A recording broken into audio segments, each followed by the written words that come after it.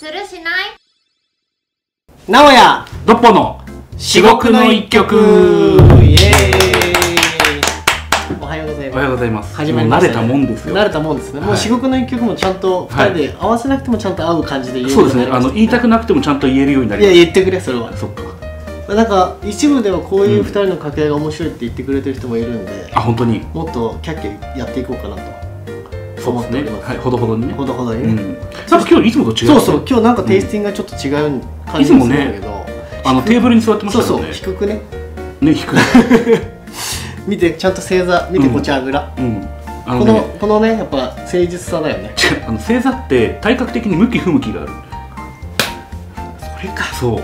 あのね血が止まる。本当に。そうなんだ。そうあじゃあぜひあぐらで。そう。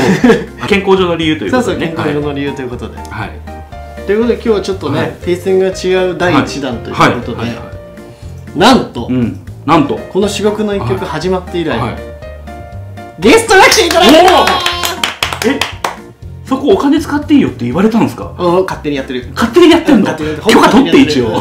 ほぼ勝手にやってる。一応許可ちゃんと得させていただいて。あなるほどなるほど。あの本人はい。出演、今回は、はい。その方の一曲取り上げたいなと思って。あたまに本人出演っていうのも、はい本人の思考も聞けるしいいんじゃないかなといや思って。本当にねあの僕らの企画に対してお金使っていいよって言われることがねそうちょっと嬉しいまずありがたいことですよね。そうそうそうそう。でさらにそれに出てくれるっていうゲストの方、うんうん。じゃあ誰なんでしょう？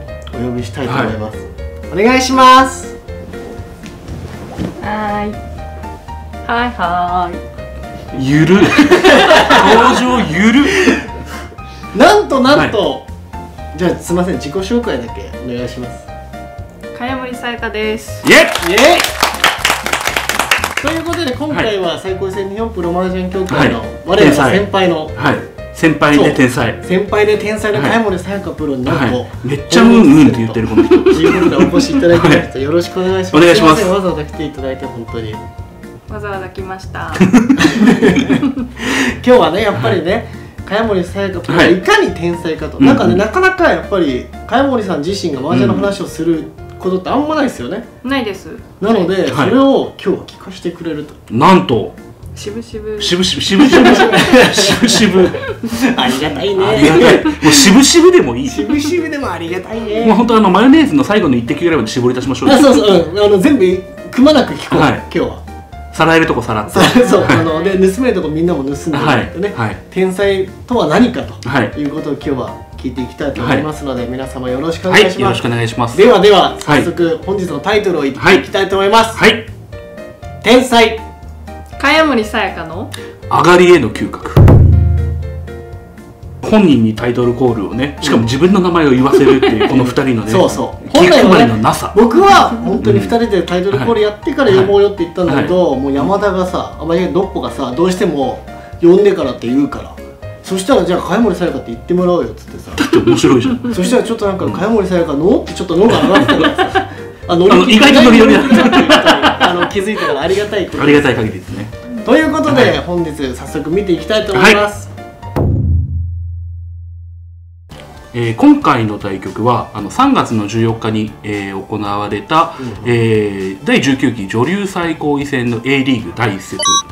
あの今年から、えー女流最高位戦があの前節、え1択ずつ放送になったんですよね。うん。で主にやっぱり天才茅森さやかさんが出ていると。そう。そうですね。一番後輩がね悠長に喋ってたね今 説明してたあ、ね。そっか。そう。僕半年です今。今年からなんて言ってね、あなたも今年からだけどねと思って。あ確かにね。そう。でこの曲は、えーオーラスですね。そう。はい。3回戦のもら3回戦のオーラスでカ村さんのトップ目さすがのはい417のトップ目で、さすがの。えーね、伊藤さんが328で、え3着目の親番。うん、で我らが春坊が115のラス目。そで宮本さんが339の2着目と。なので、えー宮本さんに8000点を上がられると漫画上がられると、えーもうそこでトップをまくられて終了してしまうと。う、うん、なんで、まあ、できれば上がりたいですよっていう局面ですね。そうなんですねでこれも宮本さんがねあれよあれよという間にドラドラのいいシャンテンでカムさんは割とぐちゃぐちゃ。うん割とぐちゃぐちゃ、はい。でもねこれ取り上げるっていうことは上がれるってことですもんね。そうそうなの。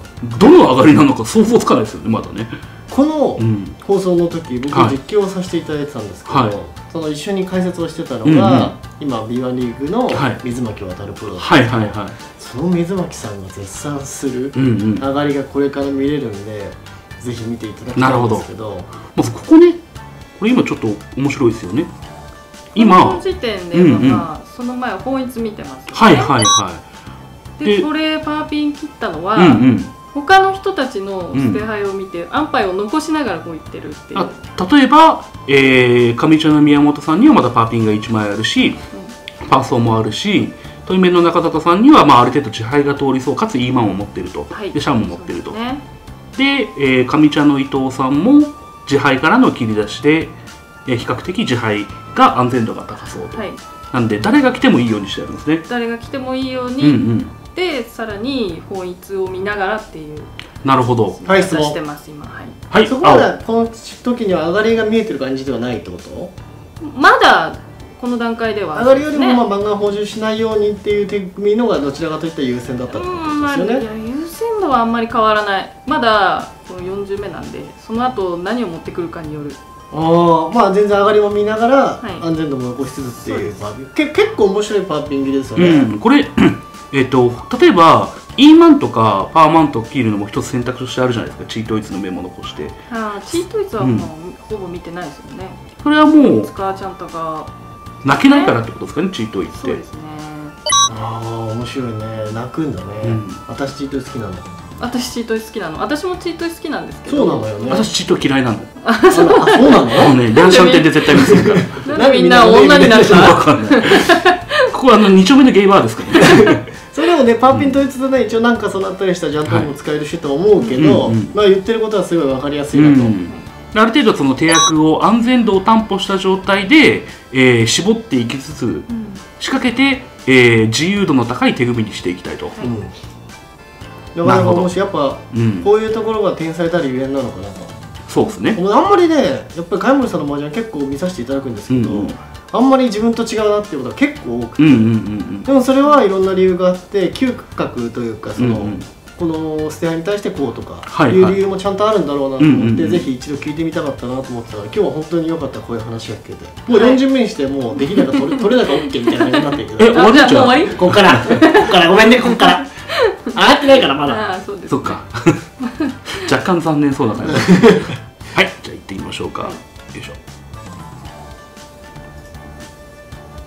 あでもこれま茅森さんは、ま、漫画法人もダメなのもんね。そう。他に。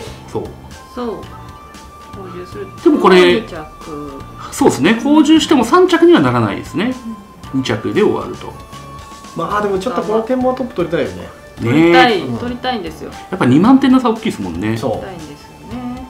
であの、うん。あとは結構強気な感じではある。一節目。ああなるほど。最初だから。うん。そうシステムも変わったんですよね。今年から。お見た。来た見たって言っちゃった。見た。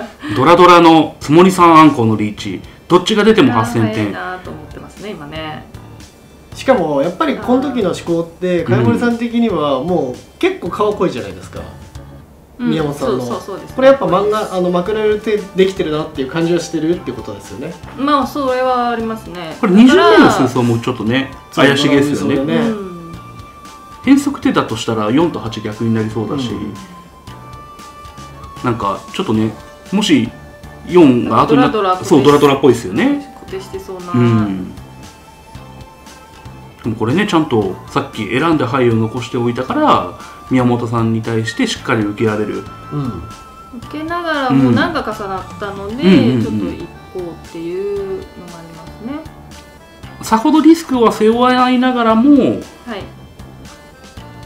瞬間上がりが抽選が受けられるテンパイはできれば組みたいなっていうぐらいですよね。うーん。だから最高戦ルールってやっぱりうん。岡田おトンから。トンから今見た。このトンから泣くの知ってたのに、ーすごい適当な話をしようとしてる。この下手さね。はいはいはいこれトンは行くんですね。とりあえずうんうん。泣いて発信しようっていう、その後来る範囲で行くか行かないかっていう、まあ TP は通るだろうっていうので、うんうん。パーピン3枚切れで数ピンの筋で。はい。このトン泣けるの？どうですか？すごくない？僕はねこういう仕掛け大好きなんですよね。あドッポさんは思そう想そうそうそう。確かに。でもねこれをやる人ってあのー多分最高戦内だと結構マイノリティだと思うんですよね。そうそんな感じだとう思うんだよね、ん。本当に今言おうと思ったけどやっぱ丘がないルールなんで、まあうん。うん2着でも全然ね順位権としてはいい,、うん。いいじゃないですか。まあこのちょっと展望的にねやっぱりトップ取りたい展望だし漫画補充しても2着にしかならないからうんうん。っていうのはあるんだけど、でこれもう一つ大きいのは泣いてもあんまりき手配の危険度ってめっちゃ上がるわけじゃないですよねそうですね。まあ、安全牌は結構あるってことか。結構ある。そう。でもこの E1 切るかどうかはどうなんですかね。まあその、うん。後次第ですね。まあ通ったら切りやすいし。自分の手配がどうなるかっていうのと、まあ、これがと E1 が取るかもしれない、うんうんうんうん。まあ。うんうんでもこれ泣かないとあんまりこうこの先上がりには向かえないんじゃないかってこと降りです。よねる感じになっちゃうので、うんうん。とりあえずドンはないとこうっていう感じの泣きですね。その後は来る範囲によって進み方が変わりますよという、そうだよな。これあれですもんね。宮本さんがこうある程度打点が見込めそうなリーチで、うん。なおかつ3着目の伊藤さんってこれ着が落ちないんですよね。はい。3倍マン補充しないと着が落ちないんで、もうそれはもうあれですよ斧振り回しながらやっていきますよ。まあまあ大体押すよねっていう局面だから自分が上がりに行かない限りはこの曲は終わらない終わらせることはできないってことだよね、うんそうですね。そうそうそうそう、はい。やっぱり伊藤さんが宮本さんに8000点補充して自分2着に落ちましたエンドですっていうのがね、うん。そうそう結構ありそうですもんね。ありそうですね、これでも結構ノータイムでポンって実際ねその対局の時やってたんで、う僕たち解説陣は本当に超びっくりしたんですよ、はいはい。ポンみたいなうん。カムリこっから行くのかってなった時だったの。ねえちゃんと思いました？や思ったな難波だよなって。いや違う何番でもなあるから。なあ。るなるほどね。ちょっと続き見てみましょうか、うん。よいしょ。でここの CP もすごくない、ね。ちょっともう一回止めますね。これちょっとこっち見てみましょうか。この左上の川のやつね。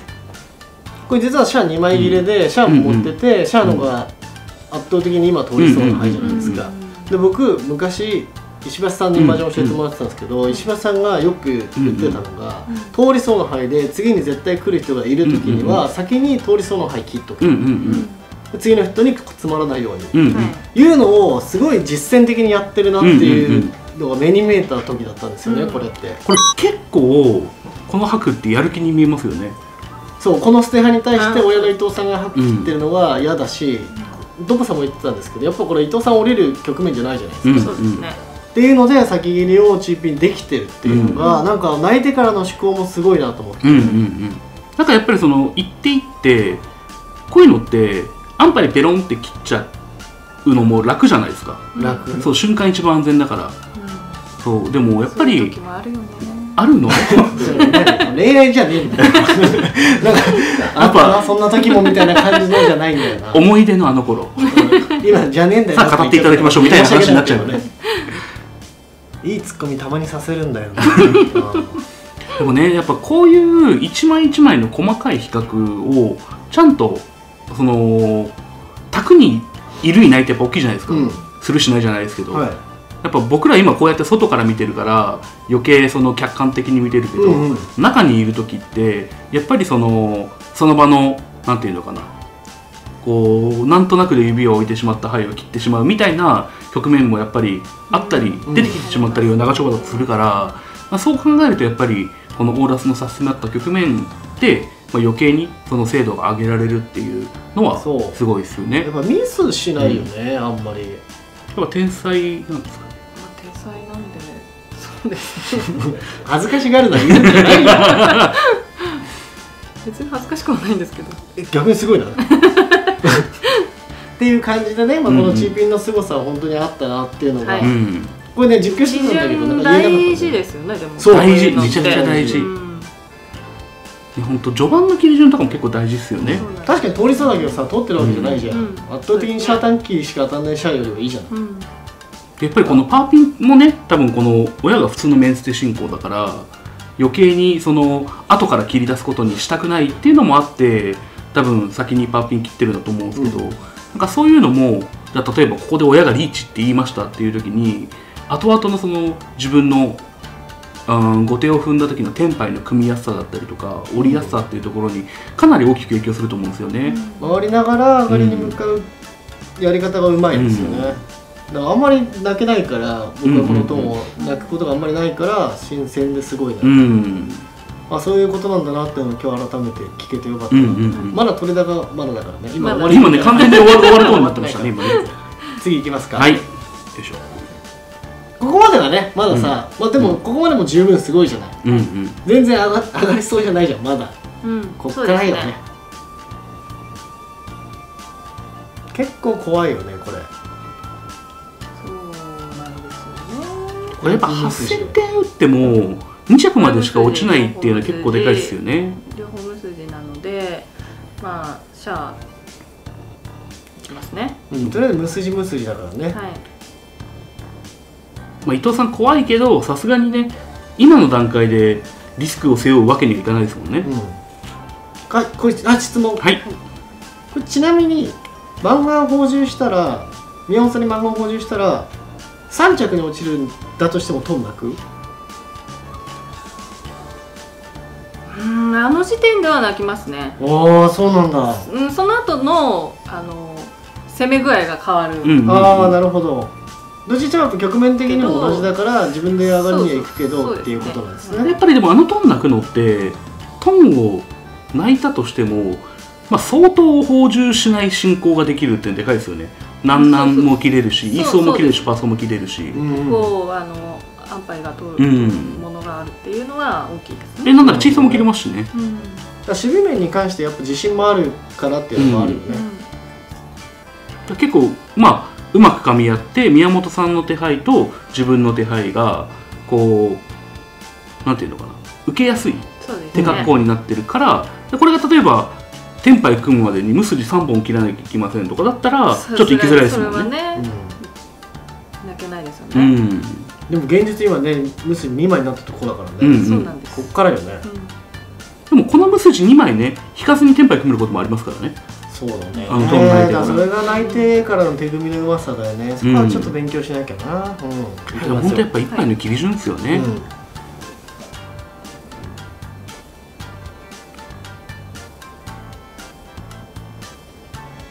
このリャンゾーは泣くと。リャンゾーが泣けるなら泣くさあこれで自分の手配が良くなるリャンゾーを泣くと、なるほどだから行く気になってるっていうこれちなみに今この状態から、まあ、ちょっと腕がすごい躍動感ある感じになってますけど、はいリャンピンと E1 の選択じゃないですかはいこれ E1 を選んだ理由ってどういうところですか今を選んだ理由は、うーん E1 が2枚切れまあなんかそうですねあのシャンポンがないのかそうです。そうそうそうそうなんですよ。あの捨て牌的にちょっとねうんうん。あ今3枚切れか。変則。そうですね3枚切れだ、うん。まあ、今3枚切れだね。ね。変則手っぽく見えてるっていうことですかねやっぱりこのリーチに対して、そうですね。E ピン切りリーチでリャンピン絡んでる可能性が、うんうんうんうん。関連の可能性があるからと、はい。なるほどなるほど。ね。あでリャンゾー泣けるなら、うんうん。私もこう行こうってう。んういう、ん。でも貝森さんの中ではこの E1 はめちゃくちゃ危ない範囲ではないってことですよねまだ。まあそうですね、確かにねこのステアに対してどうかってなると、うん。まあ1日差の3色ぐらいですか、うん。うん一番あってみたいな、うん。でもそれもワンチャンスだもんね。イイーソも事務家さんも見えてるし。そうですねまあ、リャンゾー泣けなかったら、ん。まあ行ってないんですけど、うんうんうん。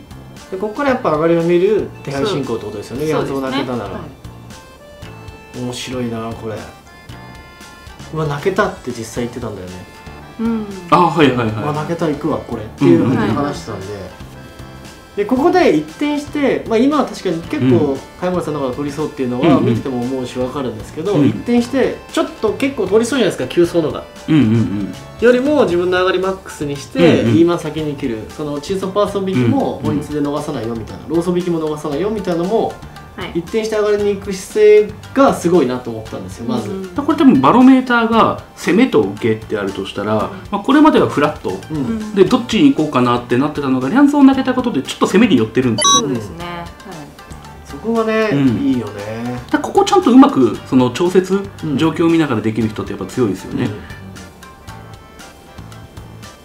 いきますか、あと全部ノータイムだよねそこすごいよね。ああんま考えないもんね。え考えてあんま考えないってあれ。頭のすご中いすごい悪い言い方になっちゃったけどそういうことじゃなくてそのさあ泣いてから何切ろうとかもう決めてるのがすごいよねと思って。決めてるっていうか頭の中で一応考えてます。早いだけかな？これ今リャンピン頭の回転が。ごめんなさい今これちょっとリャンピンとしては悩んだじゃないですか。はい。これっていうのはあれですか？伊藤さん来た時に嫌だなみたいなのってあるんですか？あります。あでルーピン通ったからか。そう本来は2切っときたいんですよねっていう話ですよね、はい。でも結局シャア切ったのっていうのはどういう理ですか？であの、うん。チャンタも見えるんで。ああなるほどね、はい、2ピン3ピンはいはいはい。あそれで一日さんでねあの E ピン、うんうん。そう誰も切ってないんですよ。うんうんうん。確かに確かに。リーチの現物なのにね。そうなんです。それでまだこういうんうんうるかなっていう、んで一瞬考えてますね。うんなるほどなるほそどう。今ね、うん。考えるって話したでしょ、選択早いよねって言った後に、ここでちょっと証拠する、うんこの大事な証拠をちゃんとするっていうのはすごいねって言おう,、言おうと思ってたのね。ああなるほど。なのに天才だからかなんか言うからもう終わっちゃったよね。そうやってねあの自分の思い通りいかなかった時人のせいにするとこよくないよ。確かに僕らがうまくコントロールしないと貝森さん全然悪くなかったもんね、うん。どうする？帰る？俺。うんすいませんでした。本当申し訳ない。でも本当こういう証拠をしなきゃいけないところでのね証拠をするっていうちょっとの証拠でやっぱあうん。の技術っていうか回転の速さが分かるなとうん。ここはこうだなってくるいうくるくるくるって考えてます。今ちゃんともあるけどなでも親毛残しておきたいけど、うん。うんうんここは上がりマックスに行こうっていう分岐点ってことですもんね。ですね。でもこういう証拠超大事なんだよ、うん。うんマージャンにおいて。ちゃんと比較してるっていうそうそうそう。評価ですねなるほどね。ここでもうちゃんと見てたってことだね、僕たちにはでも結構早かったんで、はいはい。実際はそのちゃんとで上がりになるってうんうんいうう未来の本質を意識しすぎてるのでもうやっぱ泣いてる間がちょっと見えなかったっていうのもあるけど茅森行ったからもううんうん。チュンとウルセがとりあえずどこにあるかしか見てなかったもん。はいはいはいはい。で3品が実際ここにあんこっていうのが分かってたんで、うんうん。3品かなり引きづらいもんねってあら言ったら。これだったら。これですよ。これやっぱさっきの証拠がめちゃくちゃ生きてますよね。そう。リャンピン先切ることは全然あるからさ、うん。伊藤さんに対してね。しかもこれリャンピン切っちゃった時って3ピン結構切りづらいですもんね。無筋ですもんね。そう。もうリャンピン1枚いった後そう。次の3品はい,、いかないですよね多分。行かないですね。ね。やめになっちゃうもんね。そうそこがやめになってこの夜終われてなかったかもしれないっていう、この一手超大事だな、うんうんうん。でここでうわちゃんとになったわっていうことに気づいたの。あちゃんたって役あったわっていう。であ1日さん仕掛けてるわそういえばっていうので、ってぐらいスムーズすぎたの。ねなるほどなるほでどももう他の2人も分かんないですよね、このうん。泣きと捨て牌でもうちゃんたっていう。そうそうそうそうもう本質でしょって感じじゃん。そうそうそう。そうでね現物なので。何やっとんねんって感この時点でもうもらったぐらいの感じのことを思ってました、なるほど。うん。あ結構押すっていうこと？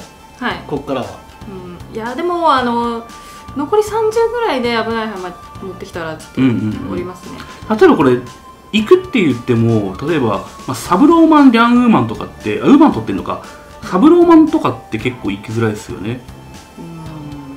行きづらいですね、うん。ああ確かにね。どうなの？サブロマンでも行行きます行く価値あるよねでもなんか順目次第ですよね。順目次第ですね。あと伊藤さんがテンパってそうかどうかっていうところも含めて。伊藤さん辞めて残り4順とかだったらまあまあ辞めたいですもんね。うん。やめたい。超やめたい、けど結構上がれそうだよね。確かにうんこの一手、そうですね。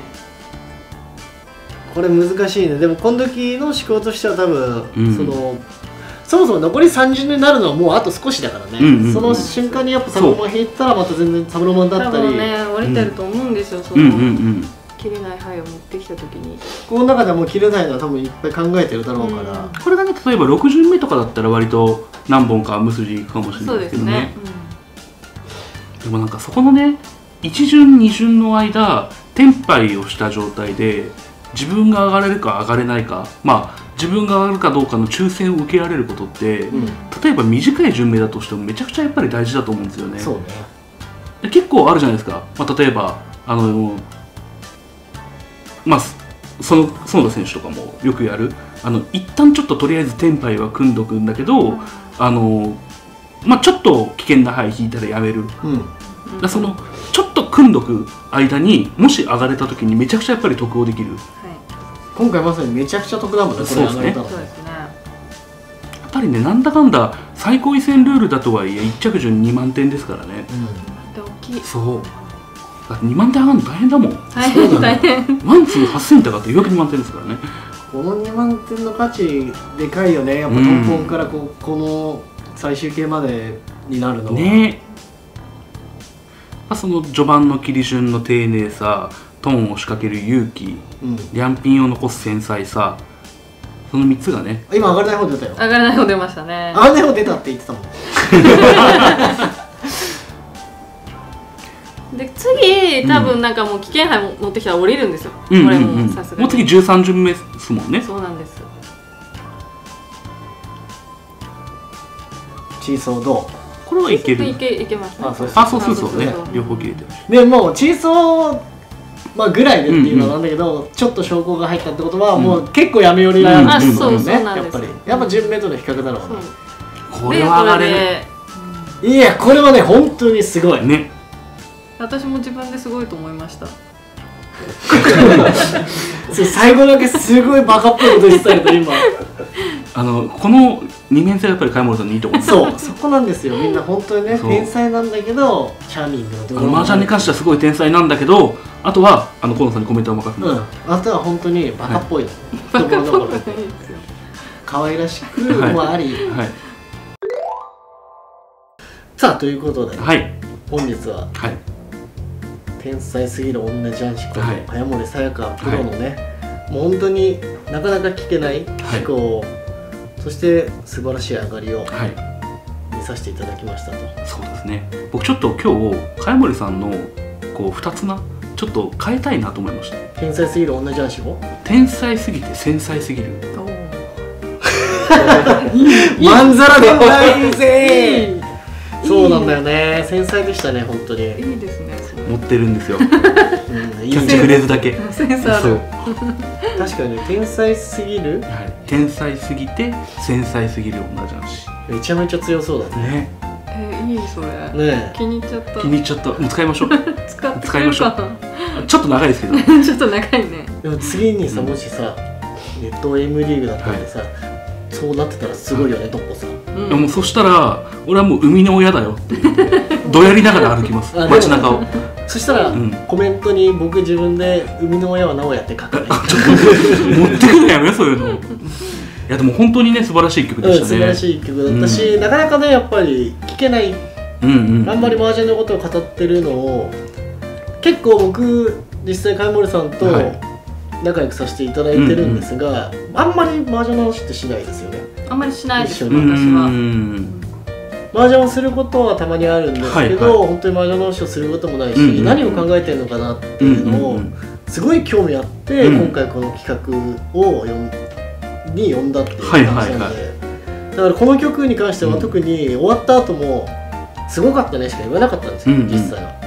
けど本当はどういう思考だったのかなっていうのをすごい聞きたくて、うんうん。今日どういうこういうこの曲やろうと思うんだけどって言って「あいいよ」って言って本当心優しく天才で繊細な。はいはいはい。悪いところがなくなっちゃった。えでも麻雀以外の時は？ちょっとバカっぽいんだよね、うん、バカっぽい。完全に言わ一面もあるせました僕一面もある、うんうん。すごい僕の評価だけ下がるよこれで。まあいいやいいやということでいかがでしたか、この至極の一曲。はあなんか楽しかったです。え？嬉しい。いじゃあもう一曲やります？なんなら。そうもう一曲ね、うん。やりたいなとね。思ってるんで。はい。でもなかなかさゲスト来てくれることがなかったからさ、はい。有効活用しないとね。そうこっちも緊 活用っ張て言っちゃったもうちょっと緊張するかなと思ったんだけど全然緊張しないぐらいさやっはぱ早森さやかの方から始まってるからさよかったよね、はいはいはいはいそこのノリノリ感が良かったなと思います、ということで皆様はい。いかがだったでしょうか、本日は四国の一曲初めてのね、はい。ゲストね。はいゲスト来ていただいて本人の方にはい。その四国を喋ってもらうと、うん。なかなかないので、まあ、こういう機会もどんどん増やせていけたらなと、はい。なんで僕らも頑張ってあの予算ください。そうですね。皆様のコメントもはい。大事に、あのねコメントにぜひ予算くださいって書いといて。あもうそれだけもう書いていただければ、はい。何かいいことが起こるかもしれないんでね、はい、ということで今回もまたチャンネル登録、はい。高評価よろしくお願いします。お願いします。それでは皆さんさようなら